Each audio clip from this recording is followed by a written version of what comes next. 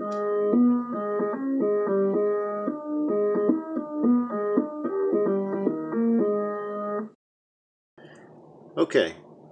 I finally got the code written and got some NEMA 17 stepper motors running on this ESP32 prototyping board right there.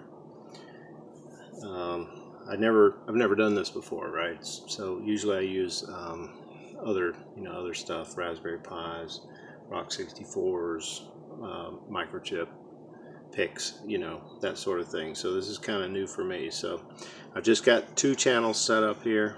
Now, just for uh, figuring things out, I ran them over to this set of LEDs so that I can see the states of the motors. And then they're just going back to these. These are two H bridges. So here are the wires, four wires. These are uh, bipolar stepper motors. Well, they're actually, these are wrapped back because they're actually um, uh, unipolars, but I'm running them as bipolars. So that's so these two H bridges. Uh, here, this yellow is 12 volts coming in. Black is the ground coming in. I just have them daisy chained together. I've actually got these H bridges have a 5 volt output right here, which I'm using the, um, oh crud, my light just turned off. Hold on. Alright, my power supply died, but I have quickly rigged up another power supply, so I think we're back in business. Anyway, what I was saying is, this also has uh, 5 volts coming off here, which I could rig up to there, but I haven't done it because I'm just using the USB right now. But eventually I'll go ahead and hook this in to, I'll actually hook it into the USB power pan over here, and that way it will run through the 5 volt regulator. Okay, all right, so let's get on to business. Let me push this, and it's going to reset everything, and you'll hear the motors beep. They're just vibrating in place to let me know that they're up and running. Okay, so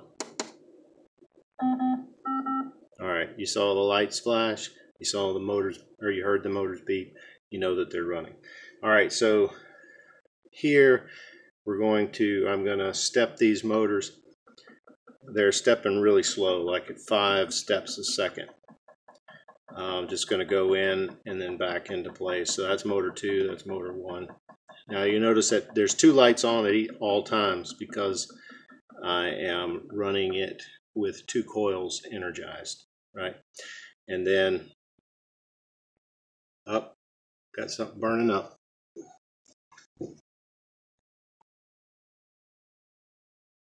Woo, smell smoke.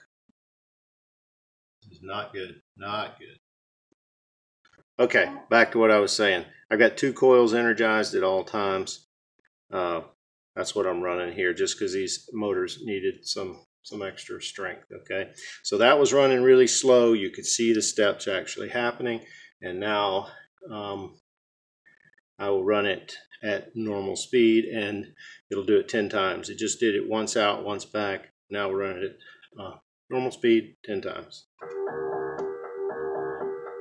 See? Way way faster right On. Okay, there's 10. All right, now you probably want to see uh, what that looks like from the front side. So here goes.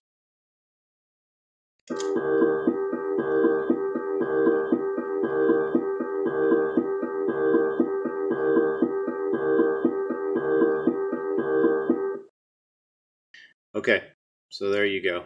All right, the next thing that I'm going to do is play some music and this is uh, going to be stationary. So I'm playing it on um, the second channel, second motor.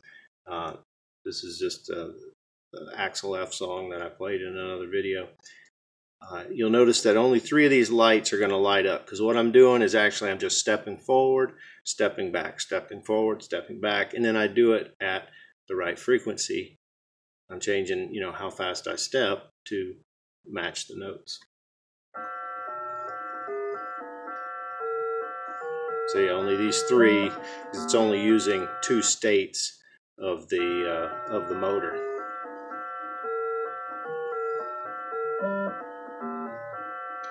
Now, if I do the same thing, but uh, actually move the motors, so step it, you'll see all these lights will light up.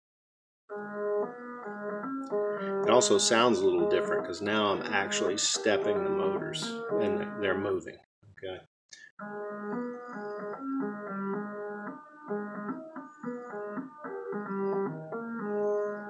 Okay, now you probably want to see what that looks like on the front side. So let me move around there.